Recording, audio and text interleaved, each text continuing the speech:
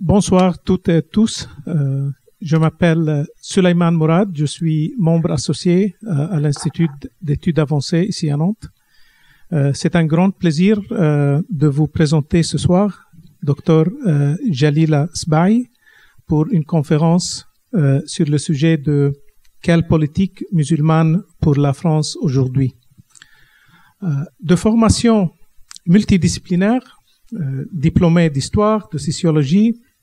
de relations internationales et de langue arabe avec un doctorat de l'INALCO et un autre doctorat de l'école pratique des hautes études. Dr Sbaï est chercheur à la chaire d'histoire contemporaine du monde arabe au Collège de France. Et elle est aussi professeure à l'Université de Havre, Normandie. Elle est spécialiste de l'histoire de la politique musulmane de la France et de l'histoire du monde arabe. Elle a enseigné à Sciences Po Rabat de l'Université internationale de Rabat au Maroc et à l'INALCO. Euh, elle est l'auteur de plusieurs articles et chapitres de livres et plus récemment, elle a publié son livre La politique musulmane de France, un projet chrétien pour l'islam. Euh, ça couvre les la période 1911 jusqu'à 1954, qui été publiée par le CNRS en 2018 et qui a reçu cette année le Grand Prix des Journées d'histoire du monde arabe de l'Institut du monde arabe à Paris. Si vous souhaitez euh, acheter des exemplaires, il y a euh, des copies euh, là-bas. Le sujet de l'islam est un sujet de grande importance politique et sociale en France. D'un côté, il est lié à la politique française coloniale vers le monde musulman, particulièrement l'Afrique du Nord et l'Afrique de l'Ouest, et aussi le Sahel et le Moyen-Orient. De l'autre côté, il est lié à la présence des communautés musulmanes en France, qui ont grandi notamment dans les dernières décennies. Ces deux aspects euh, ont influencé l'un l'autre et ont provoqué et provoquent encore aujourd'hui des discours et des réactions que nous pouvons qualifier comme inquiétantes. Dans, dans la conférence de ce soir, Dr Sbaï discutera le concept de politique musulmane qui est élaboré par les politiques et diplomates français dès le début de la conquête française en terre d'islam euh, qui a commencé dans le 19e siècle pour désigner une politique de gestion des musulmans et de, leur culte qui serait distincte à la fois de la politique coloniale et des politiques religieuses pratiquées dans la gestion de l'Empire français. Et même, d'une certaine manière, la gestion des musulmans présentes en métropole. Le but de la conférence est d'une part de retracer l'histoire de cette politique musulmane jusqu'à nos jours en accordant une place importante aux hommes qui ont joué un rôle vital, notamment les fonctionnaires savants experts. D'autre part, de s'interroger sur les aspects qui prend cette politique musulmane dans la France d'aujourd'hui. Et un petit mot euh, sur les mardis de l'IOA OLU sont un cercle de conférences organisées dans le cadre d'un partenariat de l'IOA avec le lieu unique chaque, euh, chaque deuxième mardi du mois à 18 heures. Et ils sont ouverts euh, au grand public. Chaque conférence traite un, un grand sujet de société d'actualité ayant une forte dimension internationale. Dr Sbaï parlera pour presque 45-50 minutes et après il y aura une discussion et des questions. Un grand merci pour euh, un grand merci au lieu unique euh, d'avoir facilité ces conférences et de nous accueillir ici. Et je prends cette euh, euh opportunité maintenant d'annoncer la prochaine conférence euh, par professeur Alain Supio qui est professeur émérité de Collège de France et qui est le fondateur de l'IOA,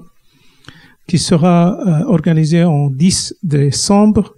sur le sujet de le travail en XXe siècle et qui, qui est lié à un euh, euh, livre qui est euh, publié et nommé le livre de moi par l'alternative économique. donc, je laisse la parole maintenant à Dr. Spy. C'est un gros plaisir de vous accueillir ici.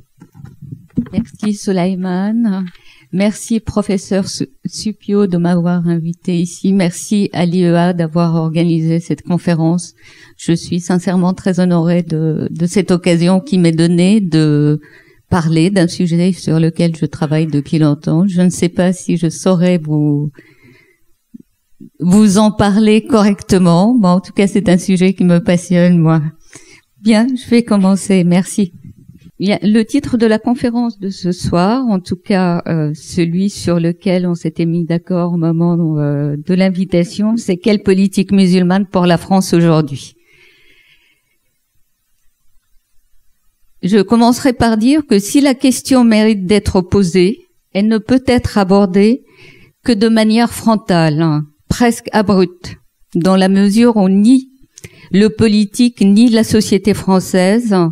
ni le premier concerné, les Français musulmans, ne veulent, ne souhaitent revenir à l'origine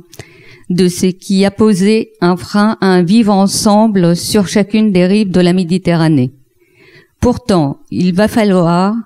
car à un moment où la société euh, française s'interroge sur la, refonte intégrale de ses structures, en raison de sa double appartenance à l'Europe et euh, à la globalisation, s'interroge sur la nature et le devenir de sa culture. Elle s'attaque à l'islam, non pas en tant que religion, mais en tant qu'élément de la, cohésion culturelle arabo-musulmane. Je vais, euh, dans ma conférence, en fait, vous tracer un tableau depuis les Lumières pour que vous puissiez suivre un peu ce que ce que je vais dire. C'est en partant euh, des, euh, des personnalités des Lumières, en passant par les différents stades de ce qu'on a appelé l'orientalisme islamisant, l'orientalisme arabisant, la conquête en terre d'islam et euh, l'arrivée de musulmans en France et ce qui se passe depuis euh, euh, depuis cette arrivée-là qui date maintenant de pratiquement un siècle et demi de présence musulmane en France. Donc l'histoire de l'islam et des Français musulmans en France se traduit nécessairement par un examen des discours hein, tenus sur eux depuis le XVIIe siècle, hein, le siècle des Lumières. Or, cet examen révèle la permanence d'un variant le premier de ces invariants, c'est l'islam constitue un obstacle en soi, d'où la nécessité de le, réformer, ou plutôt de le gallicaliser, voire créer un nouveau schisme en islam, puisque la structure église est inconcevable en islam. Le deuxième invariant, c'est l'allégeance des musulmans à la Ummah, enfin l'allégeance supposée. Euh, à la Oumma, communauté des croyants donc, et un obstacle à la laïcité et à l'intégration par eux des valeurs républicaines. Le troisième invariant, c'est le statut juridico-social de la femme musulmane, qui a pour origine, ce statut aurait pour origine évidente le Coran. Le quatrième invariant, c'est le vivre ensemble est quasi inconcevable dans la mesure où il est en permanence menacé par la violence intrinsèque à l'islam, les djihad par exemple, et par la vindicte envers les autres religions monothéistes, puisqu'elles sont inscrites dans les textes fondateurs de l'islam. le cinquième invariant, c'est la langue arabe, considérée par les musulmans comme une langue sacrée, supposée, par tous les musulmans comme une langue sacrée et aussi considérée comme un véhicule de l'islamisation ou réislamisation des populations issues de l'ancien empire musulman. Son enseignement dans les établissements publics et ou privés en France a toujours été problématique, voire posé comme ayant des origines, pour origine les textes fondamentaux de la religion musulmane, le Coran et la Sunna les positions défendues par les uns et les autres dans ces débats ne dépendent pas, loin s'en faut, des clivages habituels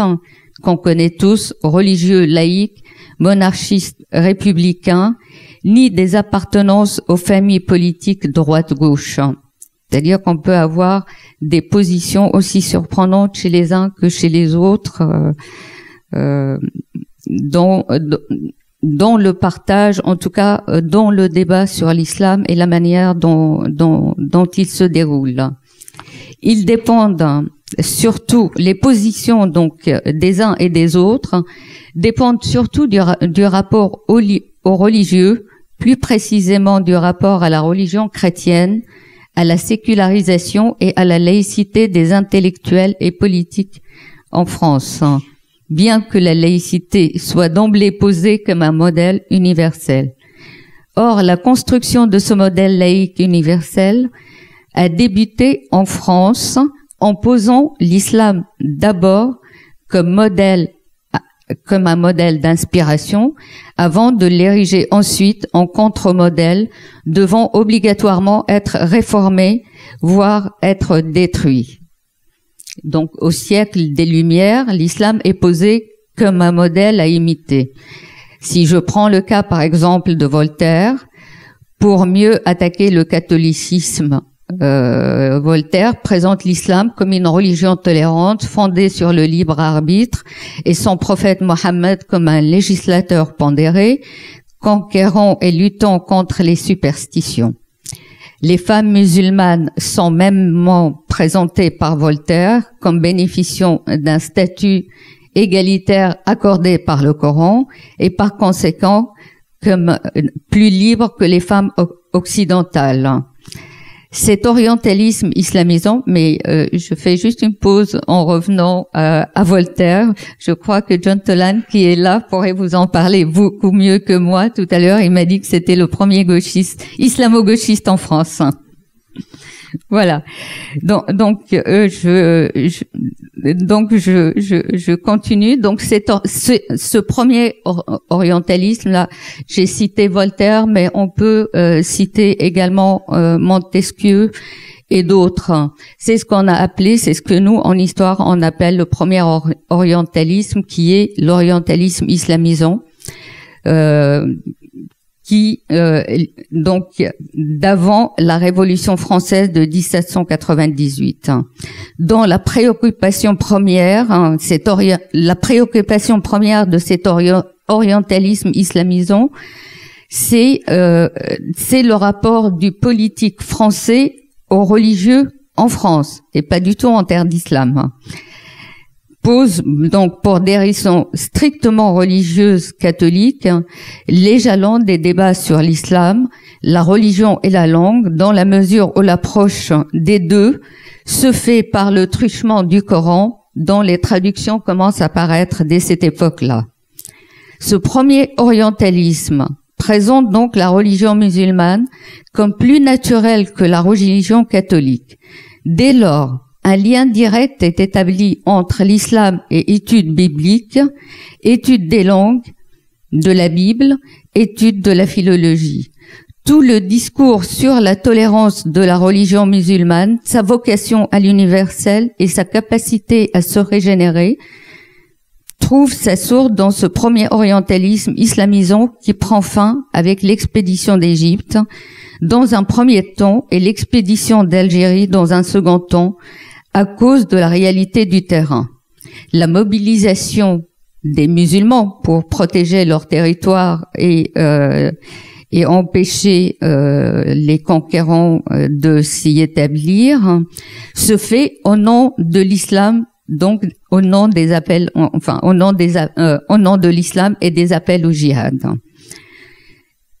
suite à ces euh, donc suite à ces pénétrations qui étaient euh, qui étaient violentes euh, en terre d'islam de part et d'autre hein, le, il y a un second orientalisme qui va naître et c'est un orientalisme arabisant qui commence à se développer avec la seconde république. Il est synchronique de la colonisation d'Algérie. Ce nouvel orientalisme change le regard bienveillant à l'égard de l'islam et la civilisation musulmane des premiers orientalistes chrétiens des Lumières et du XVIIIe siècle et définit le nouveau rapport à l'islam et aux musulmans dans les colonies et aux premiers musulmans installés en France au début du XIXe siècle. L'objet de ce nouvel orientalisme arabisant n'est plus le Coran lui-même, mais les études arabes qui, jusqu'à la fin du XVIIIe siècle, sont un sous-ensemble des études bibliques, utiles à l'histoire sainte et à la théologie. La connaissance de la langue arabe et ses différents idiomes au XIXe siècle n'est plus seulement affaire des religieux et des missionnaires, elle est aussi celle des laïcs qui forment un courant fort, y compris à l'université et dans la, et dans la recherche publique. Or, les fins politiques de ces études arabes demeurent l'intelligence du Coran à des fins de domination des sociétés arabo-musulmanes. Face à la résistance algérienne qui mobilise au nom de l'islam, vous avez un magistrat qui s'appelle Chauvet qui va être le premier à conceptualiser et à théoriser euh, ce qu'on appelle aujourd'hui le djihad et cela se fait en 1846. Donc djihad en tant que guerre sainte, euh, pas en tant qu'autre chose. L'intérêt euh, pour la langue arabe et sa maîtrise donc par les Français aboutit très vite en Algérie au remplacement des maîtres arabes par des maîtres français, dont les établissements d'enseignement public, parallèlement à un abandon de l'arabe dans l'enseignement scolaire et son remplacement par le français. Même les Français de la première génération en Algérie abandonnent la langue, abandonnent la langue arabe usuelle au profit du français pour la seconde génération les musulmans, eux, sont cantonnés dans l'enseignement religieux des madrasas et des zawiyas. Madrasas et les zawiyas, les madrasas, ce sont des écoles euh, religieuses arabes et les zawiyas, ce sont euh, ce sont des institutions également religieuses confrériques qui donnaient des enseignements. La ce qu'il faut savoir et ce qui est important, en tout cas dans ce que je viens de dire, c'est que la première génération après la conquête de l'Algérie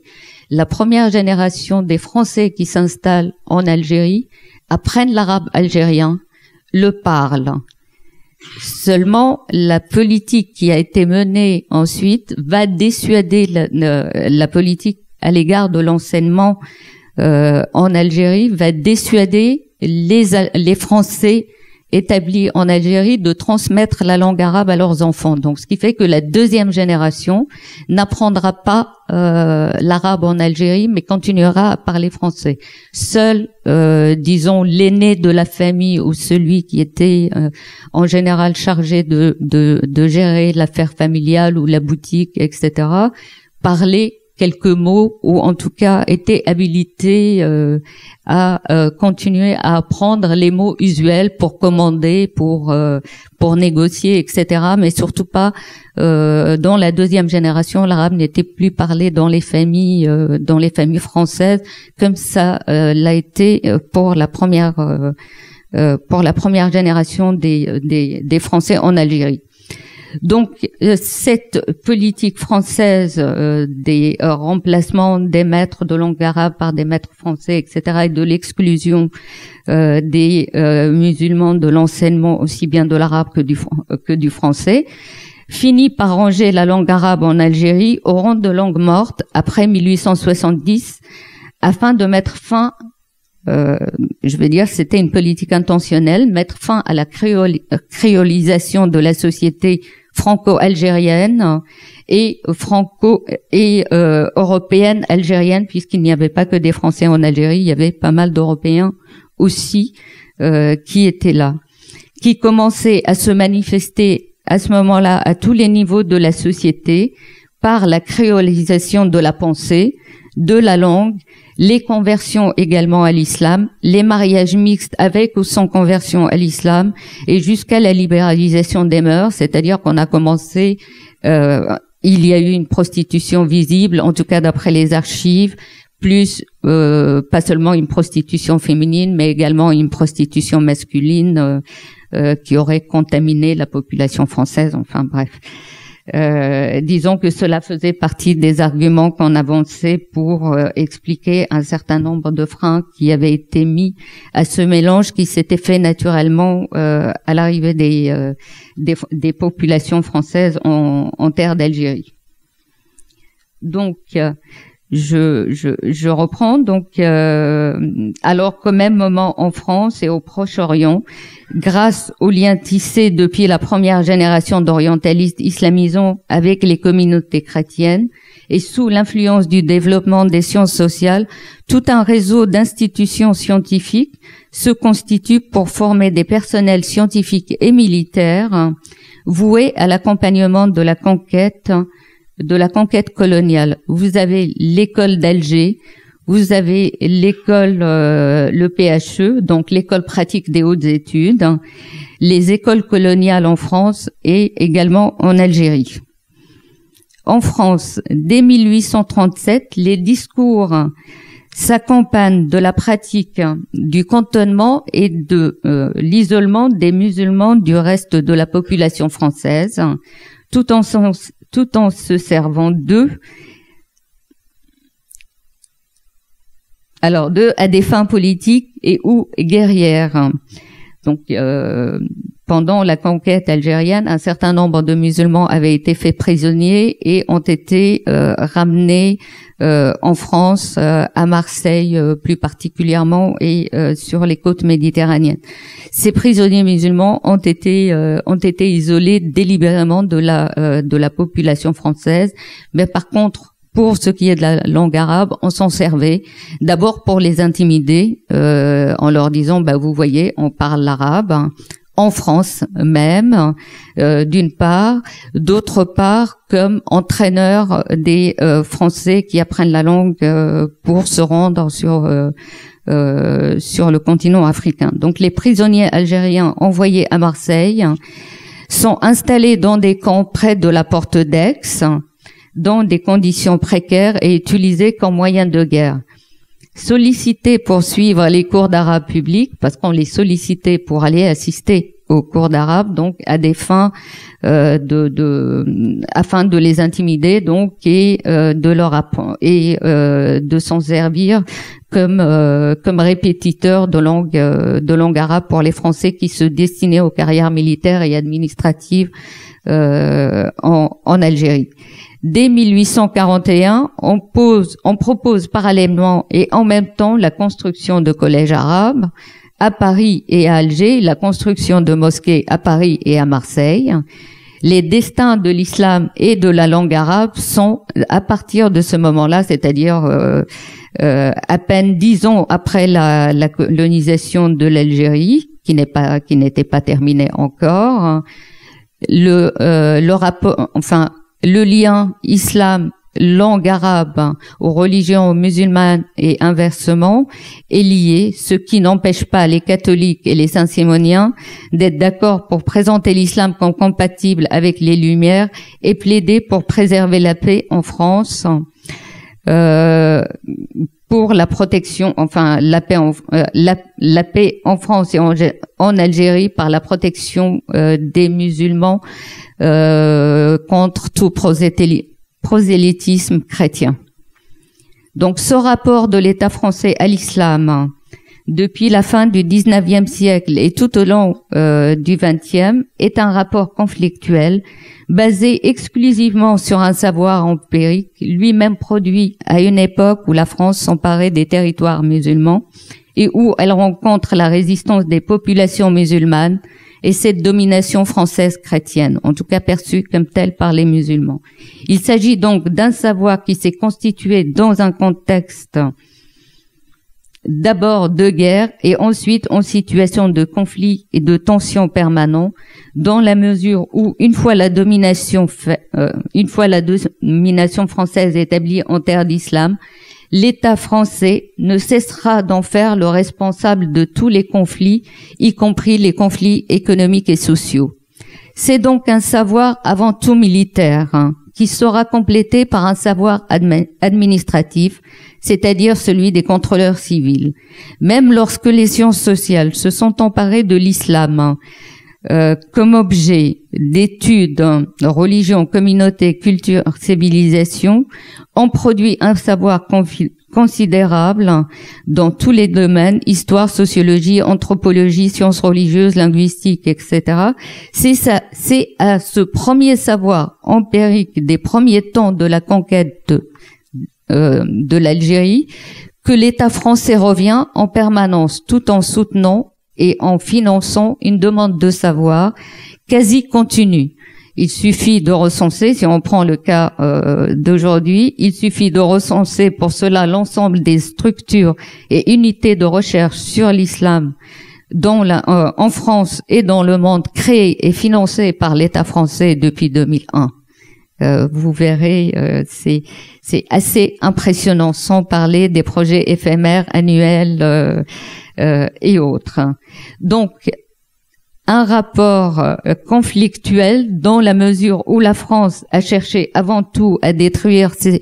structures en Algérie, avant d'essayer de le domestiquer en Tunisie et au Maroc, en pratiquant une politique de surveillance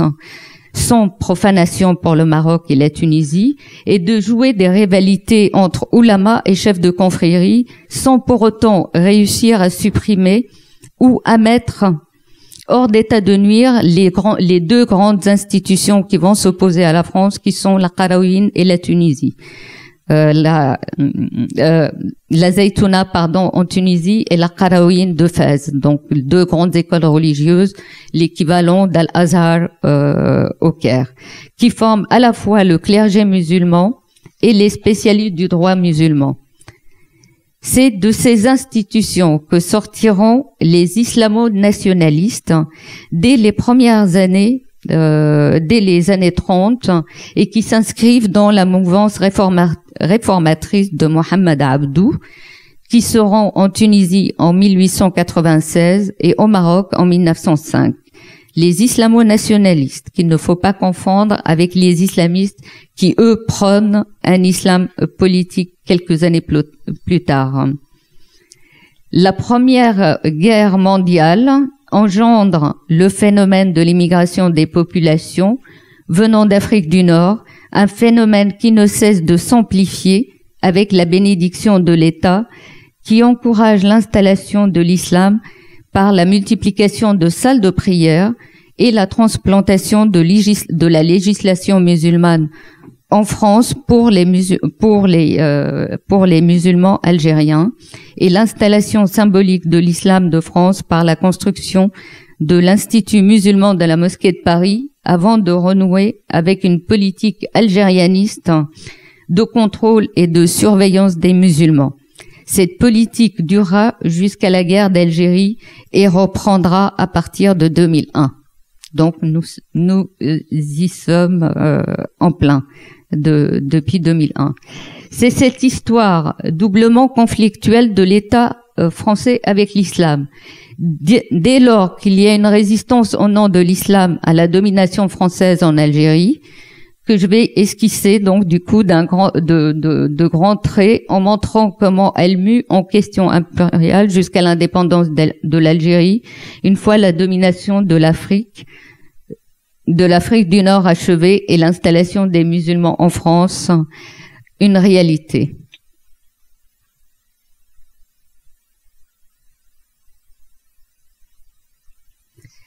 Donc la France et l'islam en Afrique du, Nord, c'est d'abord une histoire de destruction. Euh, en Algérie d'abord, puisque ça a été le premier pays, je ne parle pas de l'expédition d'Égypte où euh, les choses s'étaient passées euh, un peu différemment, mais Napoléon avait également échoué et a dû faire face aussi à la résistance musulmane. En Algérie, on assiste dès le début de la domination coloniale à une double destruction. La destruction de l'identité religieuse d'abord et de l'identité culturelle arabo-musulmane des Algériens. La destruction de l'identité religieuse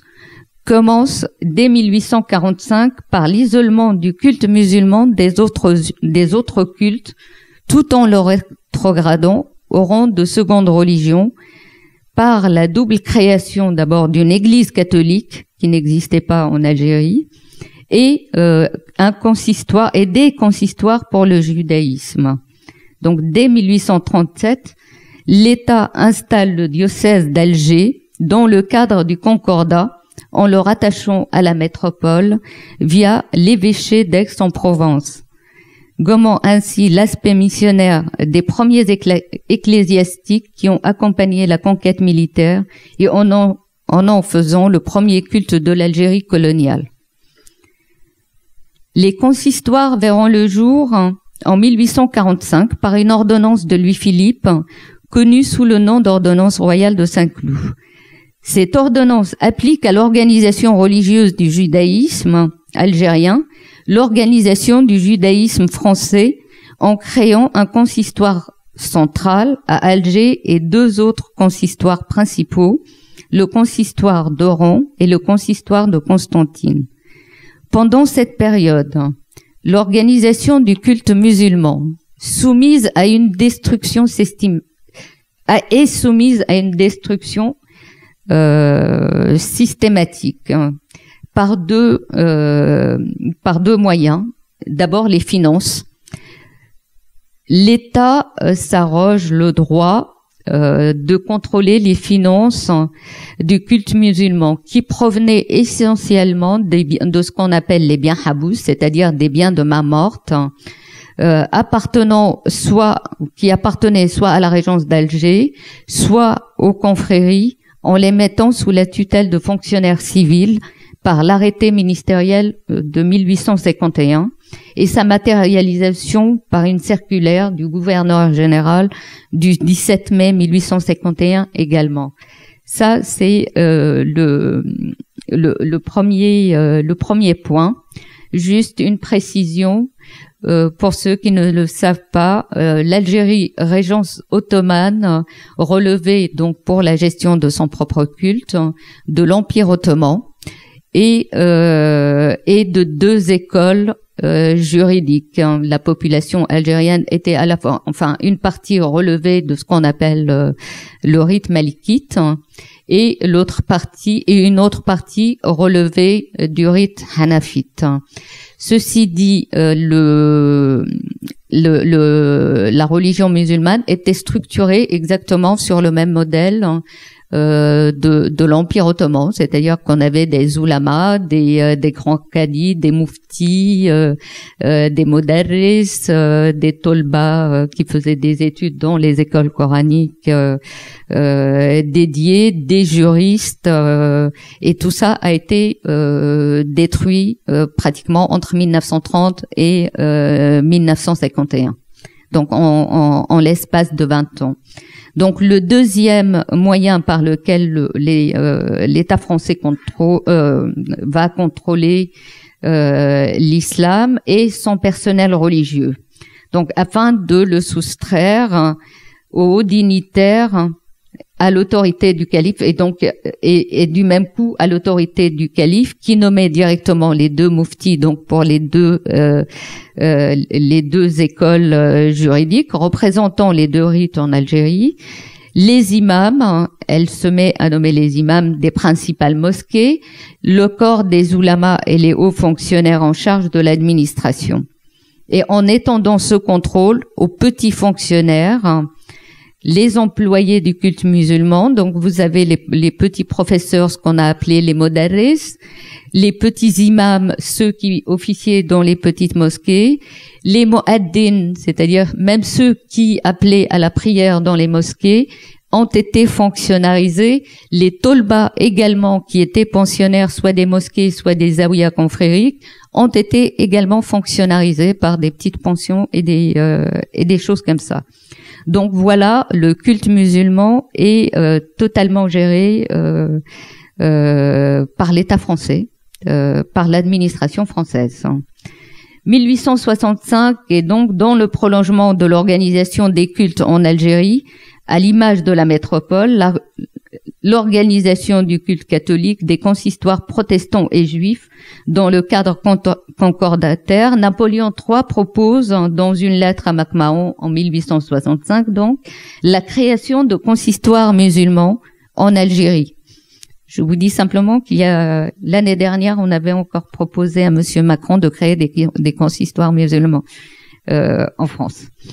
Mais le projet devient d'une part un enjeu entre les deux administrations, c'est-à-dire civile et militaire. Là encore une précision. Euh, jusqu'à euh, jusqu'à euh, jusqu'en 1870 à peu près. Le territoire algérien n'étant pas pacifié dans son ensemble, relevait de deux administrations euh, différentes, c'est-à-dire que vous aviez euh, euh, une partie qui relevait de l'administration militaire, c'est-à-dire là où ce n'était pas encore pacifié, et une partie du territoire qui relevait d'un commandement civil avec un gouvernement général. Seulement, il y avait la guerre entre ces deux euh, administrations qui chacune euh, jouait de de de de, de l'islam et de ses institutions et des autres euh, cultes d'ailleurs pour asseoir son pouvoir et l'agrandir euh, sur l'ensemble de l'Algérie puisque le but pour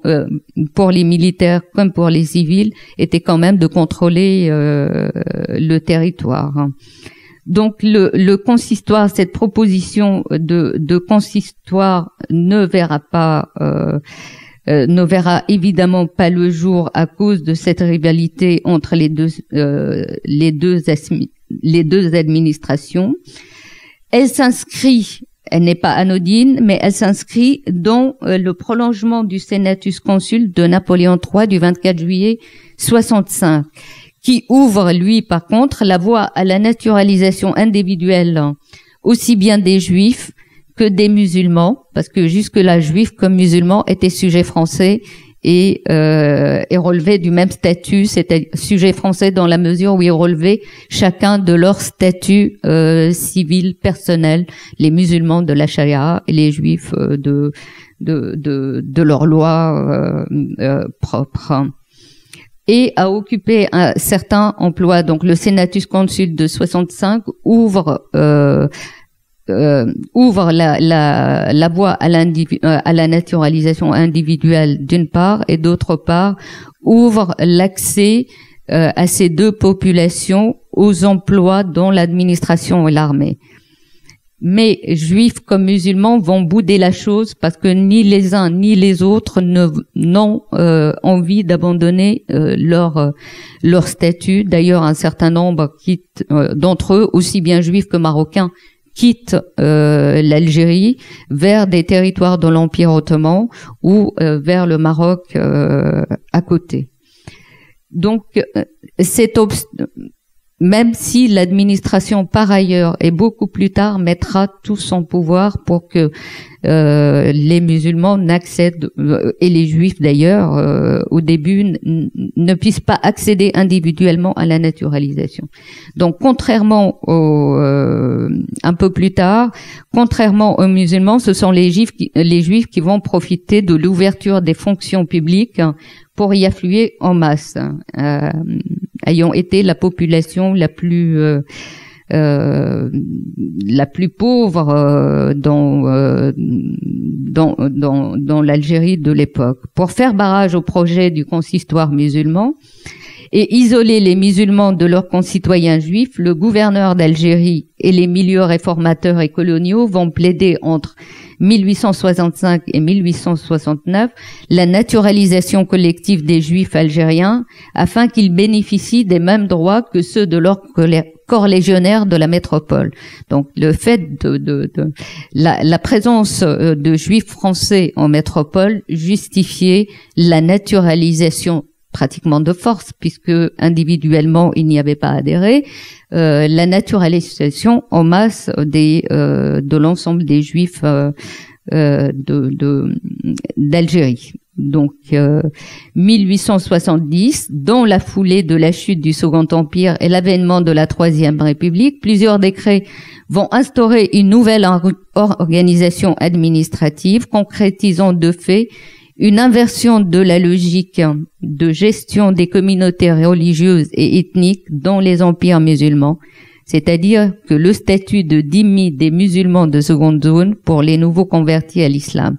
En effet, le projet de consistoire musulman est rangé aux oubliettes. Il est remplacé par une commission de surveillance et d'administration du culte qui se met sous une qui est mis sous une tutelle, définitive, le culte musulman et le décret crémieux, qui accorde la citoyenneté à titre collectif aux juifs d'Algérie. Un séisme donc dans l'univers mental des deux communautés, aussi bien juives que chrétiennes, aussi bien juives que musulmanes, pardon,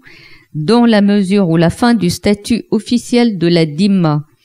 pour les juifs fait voler en éclats tous les cadres sociaux et juridiques traditionnels des musulmans d'Algérie qui deviennent des Français de seconde zone avec un statut inférieur chez eux. Alors quand je disais tout à l'heure, quand je rappelais que l'Algérie relevait, était un territoire ottoman et donc relevait des, lois euh, ottomanes, enfin des lois de gestion ottomane, ça voulait dire que le statut de la Dima, euh, qui était un statut d'infériorité des gens du livre euh, dans l'Empire ottoman par rapport aux musulmans. Donc avec les Français, on va juste inverser la logique, on va prendre la politique ottomane et l'inverser, c'est-à-dire que ce sont les musulmans qui vont se retrouver chez eux en situation euh, d'infériorité et de statut de dima puisque je parle bien de dima puisqu'on me l'a reproché à un moment, mais à partir du moment où ils sont soumis à un certain nombre de finances, enfin de, taxes financières, hein, euh, sans bénéficier euh, des, mêmes droits. C'est exactement ce qui se passait dans l'Empire ottoman. C'était une question d'argent pour tout le monde. Pour le Maroc et la Tunisie, je vais aller un peu plus vite parce que je, je je, je, prends un peu trop de temps. Le statut du donc le statut L'Algérie est une colonie, donc relevée d'un statut juridique international particulier avec peuplement. Le statut de la Tunisie et du Maroc, ce sont euh, au niveau international des statuts de protectorat. Et donc, il y a maintien des deux chefs religieux, entre guillemets, qui sont le sultan du Maroc et le dey de Tunis, qui vont euh, quelque peu, enfin qui vont euh, protéger quelque peu les structures et l'organisation religieuse dans les deux pays. En Tunisie, l'État euh, va persécuter les oulamas parce que ce sont eux, contrairement aux confréries en Algérie, ce sont les oulamas en Tunisie qui mènent la résistance au nom de l'islam contre l'installation des Français euh, en Tunisie et le DEI qui l'a permise. Donc, euh, il est limogé, remplacé, enfin voilà. Euh, les deux importants d'entre eux en mettant sous contrôle la grande mosquée de la Zaytouna et en s'appuyant sur les confréries. Avant de revenir à une politique des égards inaugurée par Paul Cambon, ayant surveillance, enfin allions à la fois surveillance, non profanation des lieux de culte, ce qui n'a pas été le cas, euh, ce qui n'avait pas été respecté dans le cas de l'Algérie, réhabilitation d'un certain nombre d'ulamas, de s'intéresser aux institutions religieuses et citadines et aux élites modernistes indigènes,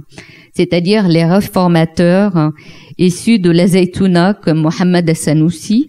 une élite issue du milieu religieux réformateur à qui on veut faire jouer le rôle d'intermédiaire entre les indigènes et l'administration du protectorat, d'autant plus qu'à l'instar du Cheikh al-Islam euh, tunisien, dès 1896, un certain nombre de euh, réformateurs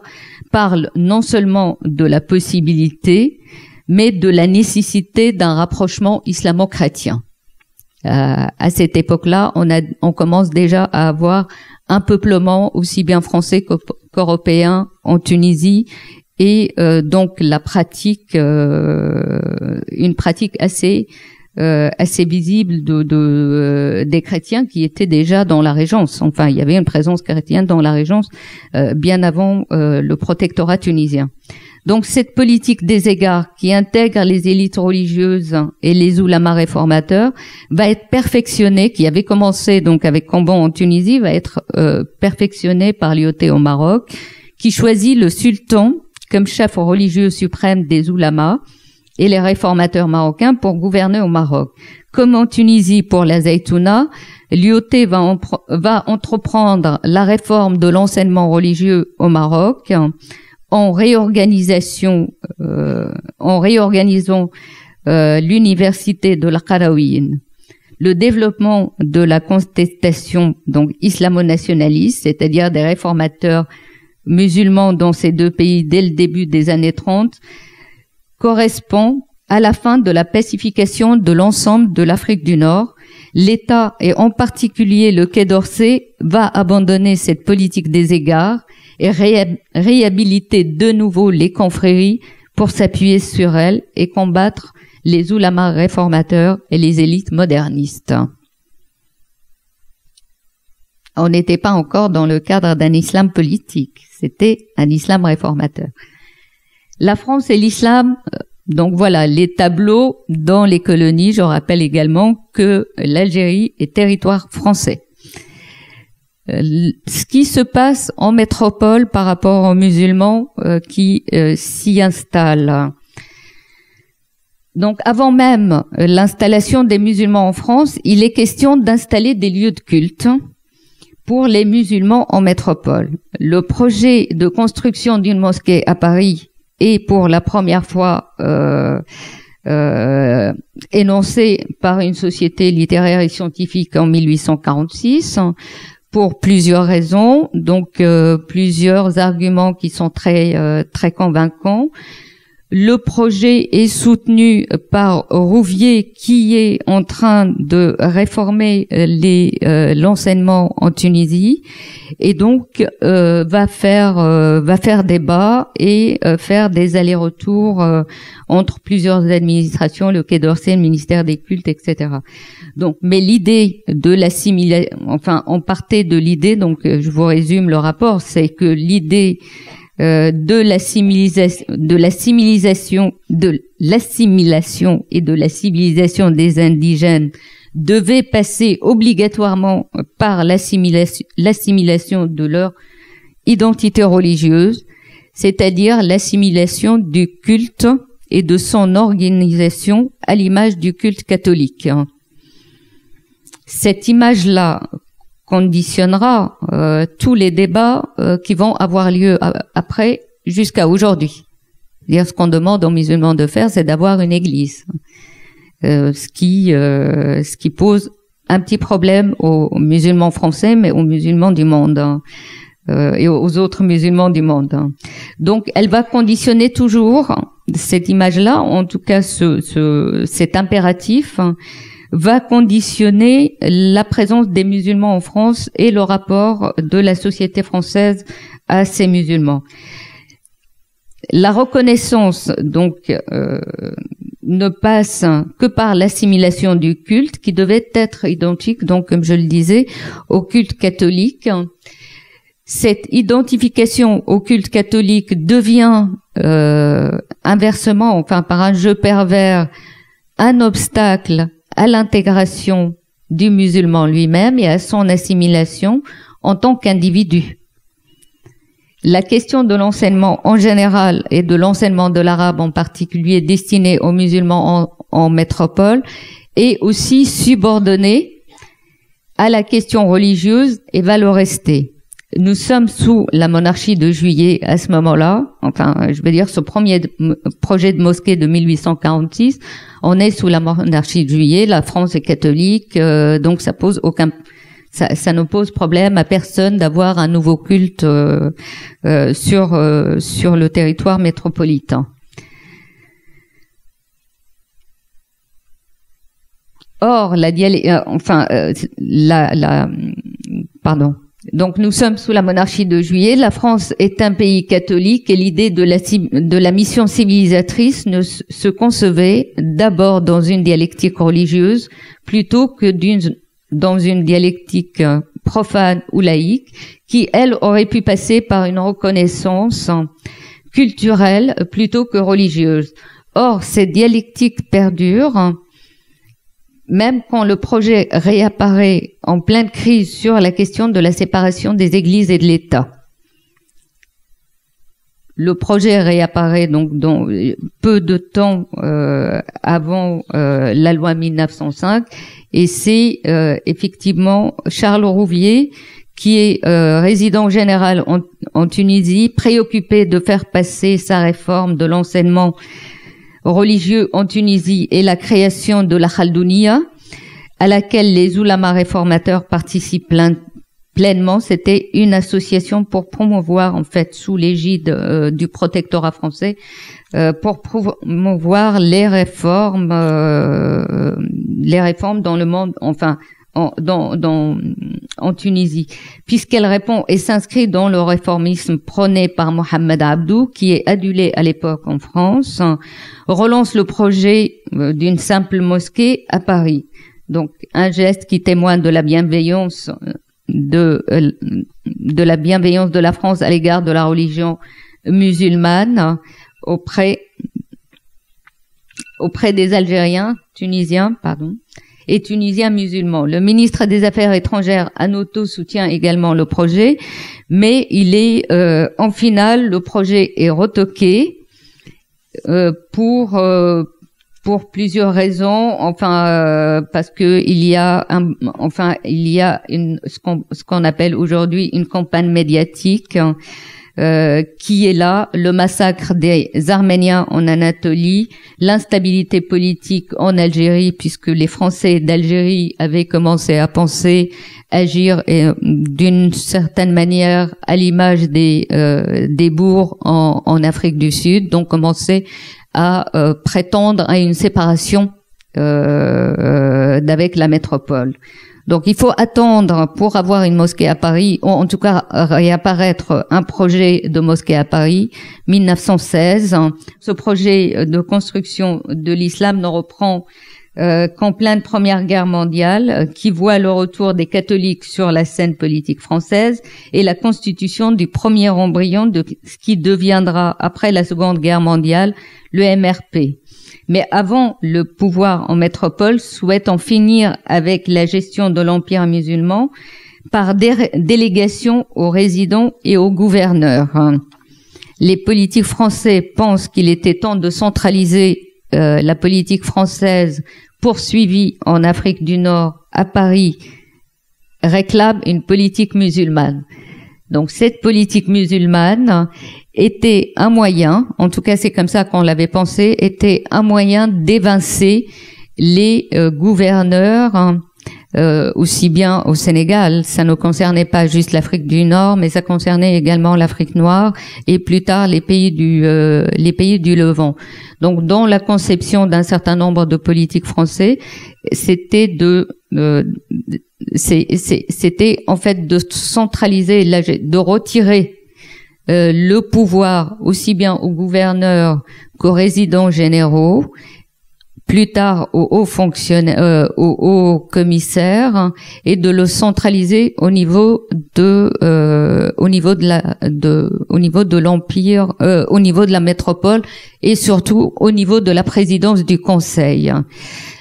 Pour la simple et bonne raison, c'est que chacun faisait ce qu'il voulait, était roi dans son royaume. C'est-à-dire que le gouverneur d'Algérie, malgré euh, malgré les rappels à l'ordre, malgré les ordres et malgré tout ce qu'on pouvait lui, demander, lui faisait exactement ce qu'il voulait en Algérie. Euh, C'était la même chose pour euh, euh pour Lyoté au Maroc ou pour d'autres résidents généraux, et c'était la même chose en Tunisie et plus tard les hauts commissaires en Syrie-Liban.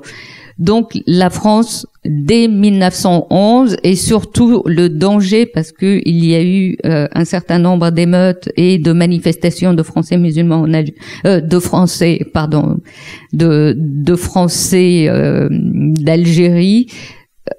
qui prétendaient à l'indépendance. Donc c'est face à tous ces mouvements et à l'instabilité aussi politique de la région qu'en 1911 la France va, enfin les politiques français vont créer pour avoir cette politique musulmane de centralisation du pouvoir en métropole un organisme qui va s'appeler euh, la commission interministérielle des affaires musulmanes en 1911. Mais en même temps, tout en la créant, on lui donne pas euh, de pouvoir exécutif. Euh, ce qu'elle obtient, c'est la représentation de l'ensemble des ministères, c'est-à-dire que chacun des ministères y était représenté et que on en a fait un organisme de centralisation de la documentation, c'est-à-dire que toutes les informations de tous les postes euh, passaient par cette commission. Euh, et cette commission, sur un certain nombre de, euh, problématiques, euh, donner son avis qui était soit suivi, soit euh, euh, soit euh, soit dont on ne tenait pas compte euh, au niveau de au niveau de la présidence du Conseil ou au niveau d'un certain nombre de ministères qui étaient qui étaient intéressés. juste une précision que je n'ai pas dit au début l'Algérie relevait du ministère de l'Intérieur pour la France, le Maroc et la Tunisie relevaient du ministère des Affaires étrangères. Donc euh, c'était un peu compliqué pour tout le monde. Donc c'est ce qui justifiait euh, euh, la, la création de cet organisme. Mais cet organisme qui de la commission interministérielle des affaires musulmanes ne va finalement être performant que au moment de la Première Guerre mondiale. Et c'est à ce moment-là euh, que la question de l'islam et de la construction de mosquées, enfin de gestion des musulmans, parce que ils sont appelés, ils sont engagés dans la guerre et que euh, la guerre, la première guerre mondiale est aussi une guerre pour l'islam, pour ou contre l'islam, mais c'est une guerre dans laquelle l'islam est pleinement engagé, ne serait-ce que parce que l'Empire ottoman était engagé et donc une source, une très grande source de soucis pour tout, pour les empires aussi bien français que britanniques dans leur euh, dans leur colonie et euh, euh, et possession euh, et possession musulmane. Donc, pendant la Première Guerre mondiale, on va avoir réapparaître euh, un le projet de mosquée, deux la question de la gestion. Donc, au lieu de centraliser la question de la séparation des églises et de l'État, c'est un peu compliqué, je sais. Mais euh, voilà, mais je vais essayer d'être clair. C'est-à-dire qu'on va appliquer, la France va essayer d'appliquer la loi de séparation euh, des, euh, la loi 1905 de séparation des églises et de l'État, en ayant un calife pour gérer l'ensemble des musulmans de l'empire. Et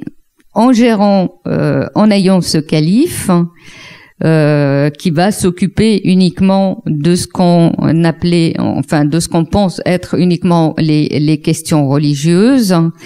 L'administration centrale, c'est-à-dire parisienne, va chapeauter, euh, va l'ensemble. Ce projet avait été pendu par euh, par l'IOT et par un certain nombre de hauts fonctionnaires qui sont tous catholiques. Euh, par un certain nombre. C'est un projet qui est sérieusement étudié et soutenu par beaucoup de, euh, de hauts fonctionnaires français catholiques, de fervents catholiques pour certains, d'autres tièdes catholiques, mais il va être combattu, mais euh, de manière très violente, hein, par de hauts fonctionnaires également, qui sont eux des euh, anticléricaux de gauche, qu'on peut appeler de gauche ou de gauche euh, radicale. Et c'est la situation paradoxale, c'est-à-dire qu'on va se retrouver avec la gauche qui défend le maintien de la religion musulmane et qui est contre la séparation des églises et de l'État. Vous avez un lioté qui est un pur laïque, un pur et dur, qui va défendre euh, l'islam et la gestion de l'islam par l'État français en Algérie et dans les territoires à administration directe, parce qu'il n'y avait pas que l'Algérie. Aujourd'hui, vous n'aurez pas on n'aurait pas Mayotte et euh, et autres euh, contrées euh, où il y a des, des musulmans sans concordat et la gestion se passe très bien. Euh, donc, donc, je disais qu'ils vont défendre la non-séparation du culte euh, enfin, la non-application de la loi 1905 au culte musulman, alors que vous avez des catholiques qui, eux, euh, veulent cette séparation, enfin, qui veulent l'application de cette séparation des églises et de l'État pour avoir, euh, pour pouvoir gérer un empire dont la, la, population majoritaire est quand même musulmane parce qu'on n'a pas trouvé d'autres moyens de le gérer. C'est-à-dire que le, on avait beau chercher à gérer de manière rationnelle et cohérente ces populations, ça n'a pas été possible. Et donc le seul point commun, en fait, le socle commun qu'on avait trouvé, c'est l'élément religieux. Et pour pouvoir le gérer, ben, il fallait avoir un calife que l'État protégerait. Et dans ce cas-là, on assurait euh, à un niveau macro, euh, je dirais, la séparation des églises et de l'État.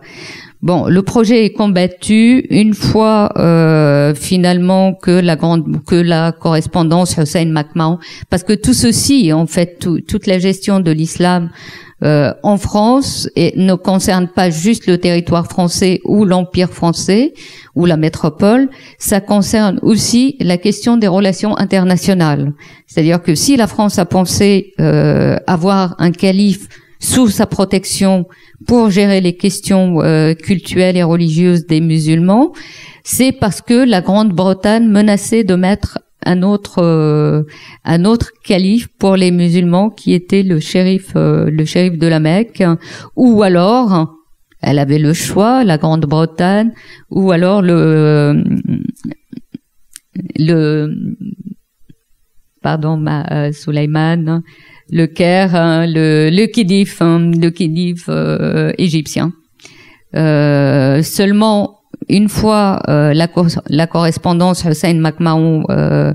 euh, connue, la France et l'Angleterre s'entendent et donc voilà, aucune des deux se met d'accord pour qu'il n'y ait pas d'autres califes parce que c'était quand même beaucoup plus dangereux pour l'une comme pour l'autre d'avoir un calife que de ne pas en avoir. Donc pour la France, l'abandon donc du projet qui était très sérieux et, euh, qui allait pratiquement aboutir, enfin d'après ce qu'on peut lire dans les archives,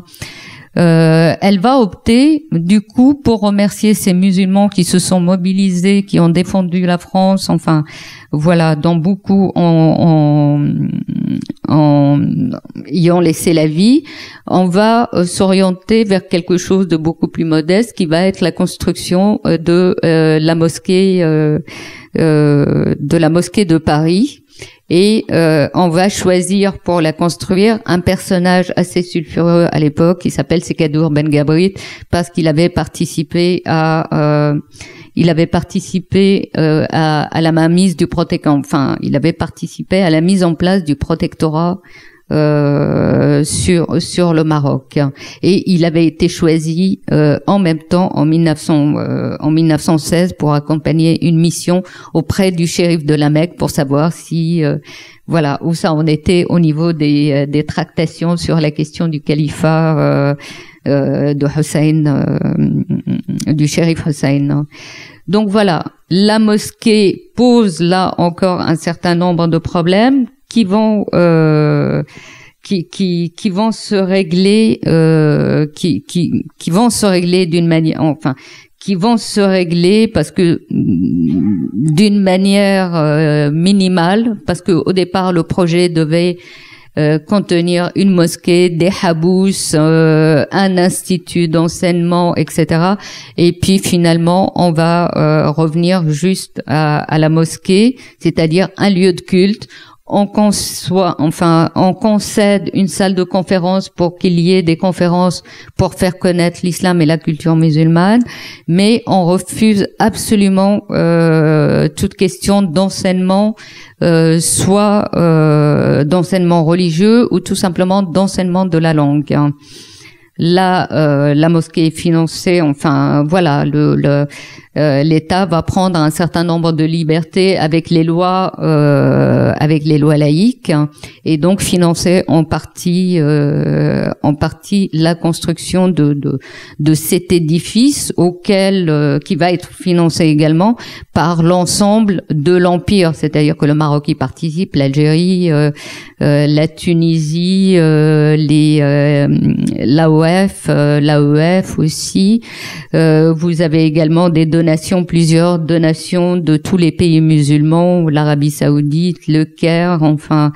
euh, voilà, euh, le l'Aga Khan, enfin voilà, tout le monde a donné de l'argent pour que pour que cette mosquée euh, se construise et et devienne ce, ce qu'elle est, c'est-à-dire une vitrine en France pour l'islam, mais à des fins euh, à des fins politiques euh, de, de, politique internationale et pas du tout euh, pour les musulmans euh, présents sur le sol français. Donc le, retour sur la scène politique française des catholiques promeut le culte musulman en France et en terre d'islam. La construction de l'Institut musulman, donc de la mosquée de Paris, et la domination des musulmans par l'un par l'un d'eux donc affublé euh, du titre de calife, hein, mais continue de proscrire l'enseignement de la langue arabe aux musulmans en France. Les musulmans installés en France se voient appliquer le statut de dhimmi exactement de la même manière qu'en euh, Algérie et encouragés à pratiquer le culte musulman. J'utilise euh, là encore parce que euh, jusqu'en 1938, ça changera après, mais jusqu'en 1938, les euh, les Algériens travaillant en France euh, payent les mêmes cotisations que l'ensemble des ouvriers français, mais ne bénéficient pas des mêmes protections sociales. Euh, qui ne leur est pas versées. Il a fallu attendre 38. Pratiquement la question ne serait qu'entre 38 et 40 pour euh, pour les allocations familiales, pour euh, euh, pour les maladies, le rapatriement, enfin voilà, toutes les cotisations sociales qui donnent droit à un certain nombre de prestations de la part de l'État. Les Algériens payaient les, euh, payaient les cotisations, mais ne bénéficiaient pas jusqu'en euh, pratiquement 39 des, en retour d'un certain nombre de, de, de, de prestations. Donc dans l'entre-deux-guerres, en plus des services de l'État,